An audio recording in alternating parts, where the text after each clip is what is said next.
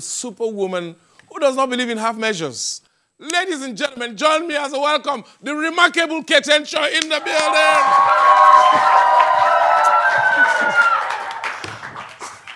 ah, it's so good to have you in the studio. Thank you. Yeah, we've been trying to track you down for so many weeks. You are a very busy woman. Is it with satellite? Yeah, with everything, everything at our disposal.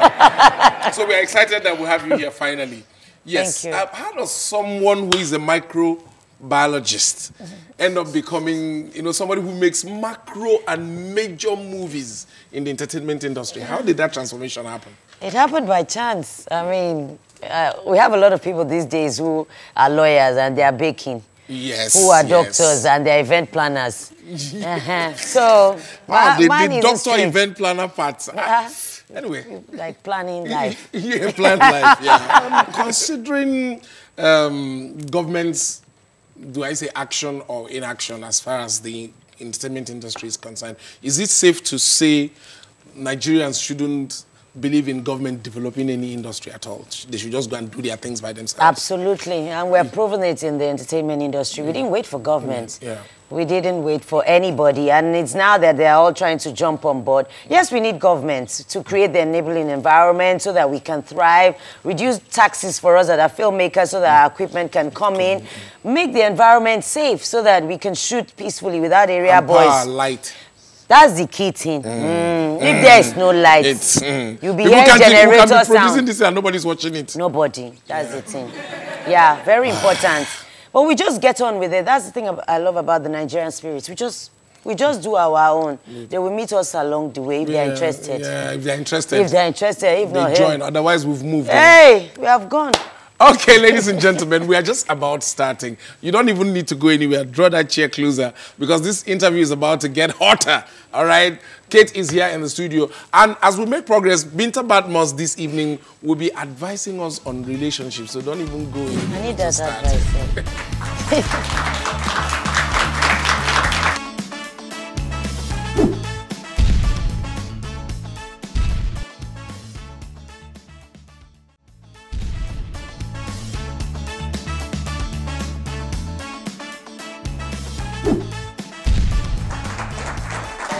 Welcome back. Um, you know the drill. It's still the other news.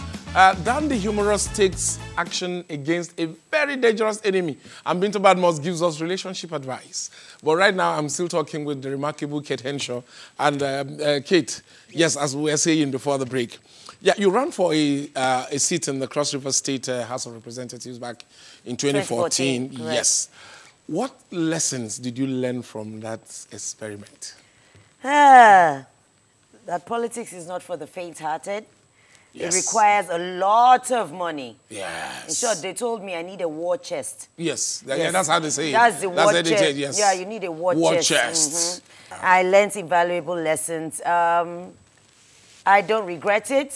It's a lesson that I've learned that if I didn't go through the process, I would never have appreciated what politicians go through. Um, because it's 50-50. The politicians and the populace, they have their blame game. Populace waits every four years to collect money. The politicians come every four years to give money, and then they, they go. You don't see anything of them. Maybe some of them don't even do their projects or anything, but once they come with the money, they take the money, and then, and that's it. So, if there's one thing that you would like to change about this country, Hmm. I haven't seen the entertainment industry. I haven't been in the business of make believe and being close to politics. Hmm. So you have a better view, outside, inside, of how things are being done. What is that one thing that you would like to change? It's not one thing. There are lots of things.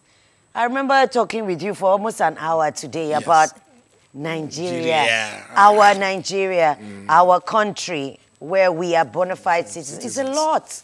And we It's have a no, lot. we have no other. For for most of us, we have no other place. It's a lot. And I remember my words to you exactly saying that it's like we never seem to come up for air. Yeah. It's like we're always pressed down. If it's not road, it's light. If it's not light, it's healthcare. If it's not healthcare, it's salaries. If it's mm. not salaries, it's education. Perpetually drowning in problems. things are pulling you an octopus of problems, octopusy mm. nature of our problems. So it's not one thing. But if we can have one thing, can we just have electricity? And I'm sure everybody will get on with their life. Yeah. Nigerians are very hardworking. You know, for Very me, I, hard working. Yeah. Just give us light. Carry on with your business. We'll make things work. I wonder, let there be light in Nigeria. oh man, Oh, it's, uh, it's. Anyway, let us uh, leave Let's government. It's beginning to wear us out. yes, let me have a drink. Yeah, please. Let me also sip something with you. Mm. Yeah. You are a fitness enthusiast. and- yes. so what advice? You people will not Yeah, me. because yeah, we see you on social media. You're always training. I don't even know how you do it. So what advice would you have for people like us who are likely to grow pot belly this Christmas season? You know, and those of us who jog from bridge and highway to the next Mama Put or Buka to to add the calories we just burnt. So You see, people are just so lackadaisical about their health in this Yeah. country, mm. about their life. This it's only this body where you get to. There's no spare parts for you say, let me buy, let me replace, just easy like that. So I just advise people to just make it a lifestyle. Make it a lifestyle. As you're coming, to, preparing to get to work, 30 minutes, skip, jump, jog, cycle. There's so much swim, so much you can do. 30 minutes, three times a week. Don't wait till the doctor says you have six months to live. Then you start running. yeah, but you know, you know, yes, yes, um, yeah, you, that's very correct. And why do actually. we eat as if there's no tomorrow? You eat so say you start to unbutton people like you men. You'll be unbuttoning your you, trouser. You, you're losing your. Sweating. You're losing your belt so that there's space. Sweating. Thank you so very much, Kate. It's been nice talking to you. Please, pleasure. ladies and gentlemen, a round of applause. yeah, the show goes on. It's the other news. Keep watching.